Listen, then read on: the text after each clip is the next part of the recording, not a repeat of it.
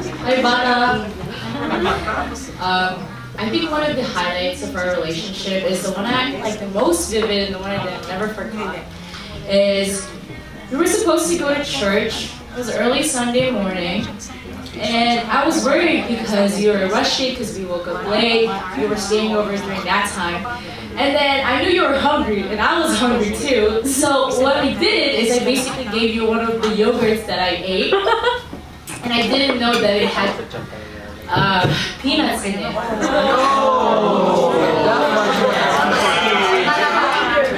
So basically, basically that whole morning I felt like a terrible ate because I tried to kill the younger sister I never had.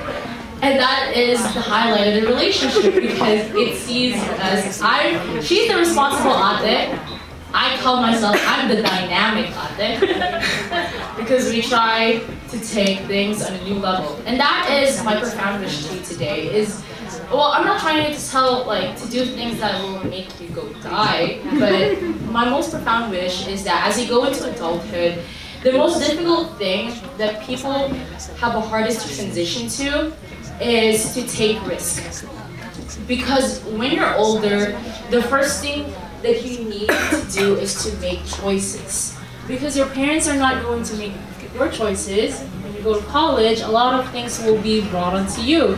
You'll have to know how to manage your time, you know how to um, choose organizations, choose the activities that you like. That is not basically your parents is not going to be guiding to you you all day like from before. So when you're an adult, you make choices and you have to have courage to go and push forward through it because the most important thing for you to do is to believe in yourself and to know that whatever happens is that we always love you Jesus loves you no matter what you do, regardless if you fail or succeed, if you're whatever, whichever aspect of your life, Jesus would always love you, and your family, your friends, and us, your second family, will always love you. So don't ever, ever be afraid to try new things and always take risks.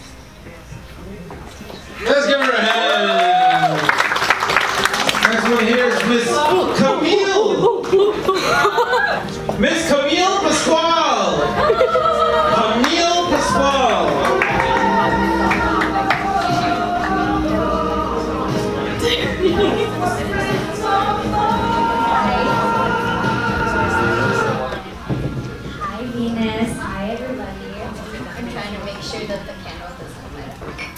Alright, so I was gonna wing this one, but then I started getting scared because everyone's like so um, I wrote something real quick. Um, actually kind of Googled what 18 candles um, symbolize because I wanted to make it more meaningful. Um, so it says these women, so that's like us, uh, give speeches and advice, state their well wishes for you. Um, and then each light a candle that symbolizes light, a light that will guide the girl on her life journey. So I have a couple of things. Um, when I met Venus, it was through Micah, and I was like, oh, okay, cool, like, we're a group, we're a crew. Um, yeah. And so over the years, though, as we continually walked, um, it's been such an amazing thing to see how Christ has been molding and shaping her. Um, whenever she goes through like any hardship, she'll be like, yeah, but God is so good. And I'm like, whoa, like this girl has such immense faith. And it's really beautiful to see how you continually put God first, um, especially when you dedicate your time to like um, sing with the worship team or like you go to youth nights, like take the long train, take train or bus. Yeah, it's it's really cool um, to just see Venus continually um, strive to um, seek God. Um, and so my um, advice or like um, thing is that continually hold fast to Christ because He is the one that will continually mold and shape you to that Proverbs 31 woman. And so everyone has been reading to, with Proverbs today, so I'm going to chime in too. Um, so this is Proverbs 31. It says, She is clothed with strength and dignity. She can laugh at the days to come. She speaks with wisdom, and faithful instruction is on her tongue.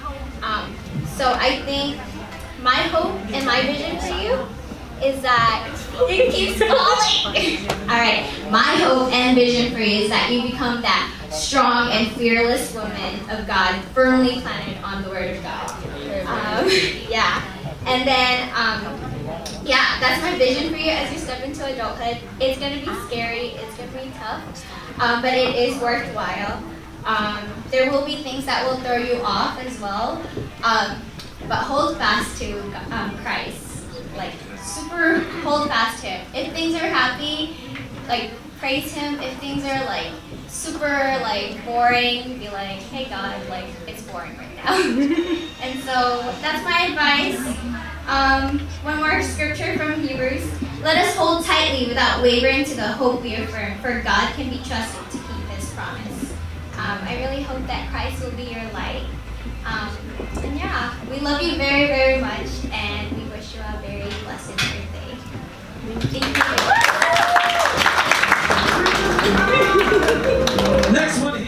I just want to say that, like everyone has said, um, going into adulthood is a scary, can be a scary thing, but um, just seeing you being able to serve alongside you in the worship team, I've seen your passion, I've seen your desire to serve the Lord, and I just want to encourage you to keep on doing that even as you go to college. God wants to use you out there, and He has great plans for you. Continue to seek Him in all that you do, and He will direct your paths. Happy birthday, I love you. I'm the wife of Pastor Alan Amada and the mother of Andreen and Anna. Uh, I just want to wish you a happy birthday to my um, fourth daughter, Venus, and uh, I wish you uh, all the happiness as you go to your college life. And the only uh, prayer that uh, I want you uh, to give to you is uh, always obey your mom and dad and um, concentrate in your study. Love life can wait, but um, always think that all the happiness that uh, uh, when you graduate in college, that's the only thing that your mom and your parents will uh, uh, expect to you. Happy birthday, my fourth daughter. Hi Venus, happy birthday again. Um, I would like to make a follow-up on what Agatha mentioned earlier. During one of those um, nights, where you stayed with us and that morning were accidentally we were uh, feeding you with um, something with peanut. So um, to continue on with that story, we ended up um, at St. Joseph Hospital and we stayed there for, for an hour or so and um, she got treated there because we were so scared of, of what might happen with you. And how when we were there, the um, people from the admitting, um, they were asking me questions about you. Your telephone number, where you live and all that stuff. I vividly remember I have no answer to those things because everything is with Micah's. Your phone number, your address, your your mom's and I remember the two people they had meeting, they were looking at each other and looking at me like judging me, like what kind of, of mother's friend are you? You don't know anything about her. I felt so bad the whole day, but um, you know the best thing about you? I thought that would be the last day that you would stay in the house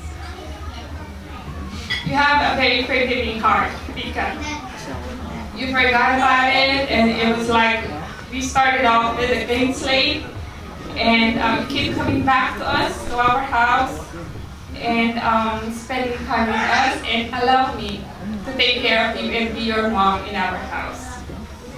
So um, happy birthday and um, the whole family, the Ferris family loves, loves you very much. Happy birthday. Next.